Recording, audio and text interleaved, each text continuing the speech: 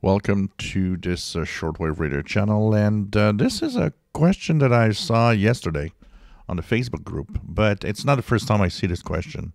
I've actually seen it quite often, and I've seen it a lot on the um, SDRplay blogs, where a lot of people, um, you know, sometimes having problems with uh, the device, running the device, and so on.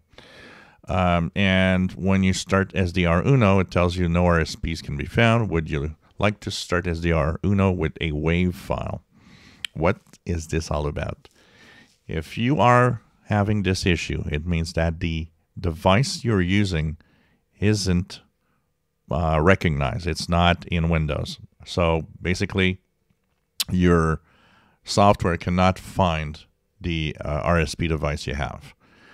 So make sure, first of all, that when you install the software, you follow the rules that it has to be unplugged before you actually use it. So you install all of the software.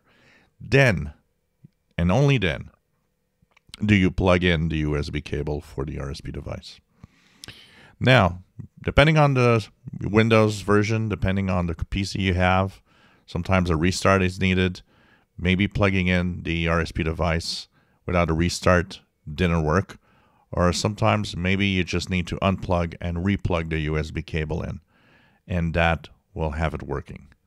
So that's another thing to do. So you you just plug it in or unplug, plug in, restart your PC, wait a few, uh, wait a minute or two, and then start the software after it has recognized. And usually it should work.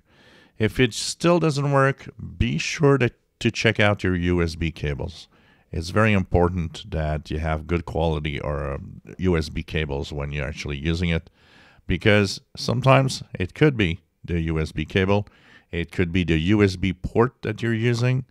And if you're using a hub or if you're using some external USB device that adds more ports to your PC, that often doesn't work well with these devices. It has to be plugged in directly to the computer. And um, another thing to try is unplug every USB device that's on your PC. Just plug the SDRplay device alone to see if it fixes the problem. But this is um, a indication that your computer does not see the RSP device. It's as if it's not plugged in.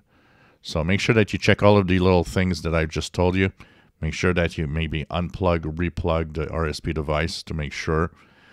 And a restart, of course, um, might also help out to uh, make sure that it works well. If you enjoy my videos, please subscribe, give us thumbs up. Thank you for watching.